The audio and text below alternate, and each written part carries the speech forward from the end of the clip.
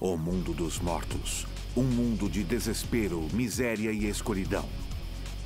No entanto, agora, um pequeno feixe de luz consegue penetrar nesse negro reino. Com a armadura de gêmeos que Canon enviou, todas as armaduras dos Cavaleiros de Ouro estão diante do Muro das Lamentações. E agora, todos os Cavaleiros de Ouro que haviam perdido suas vidas em batalha foram ressuscitados para salvar a deusa Atena de toda a ruína. A Ioros está posicionando sua flecha. Seiya, Shun. Vocês devem partir agora. O cosmo combinado de todos os Cavaleiros de Ouro aqui estará na flecha que a Ioros lançará. A flecha carregará o poder do Sol para o seu alvo. O Muro de Lamentações será destruído. Mas a onda de choque criada pelo impacto irá exterminar todos nós. Mas, mestre ancião... Sua tarefa é entregar a armadura de Atena. As suas armaduras possuem o sangue sagrado. Vocês são os únicos que podem passar para os Elísios. É o único jeito de finalmente colocar um fim nessas guerras recorrentes com Hades. Fiquem bem atentos. Sejam rápidos agora. Vamos.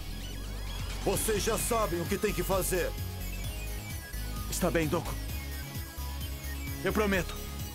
Chegaremos aos Campos Elíseos. Adeus. Adeus, bravos guerreiros. Adeus. Cavaleiros de Ouro! Aqui vou eu. Por amor. Por justiça na terra! Com todo o meu corpo e com toda a minha alma. Que esse dourado cosmo queime! Que haja muita luz em toda a escuridão.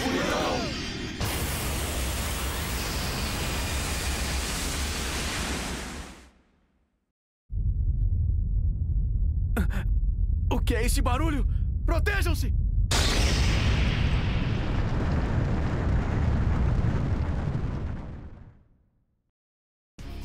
Olha só o muro.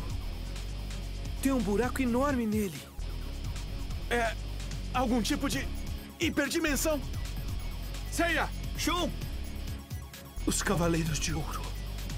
Eles se foram. Sim.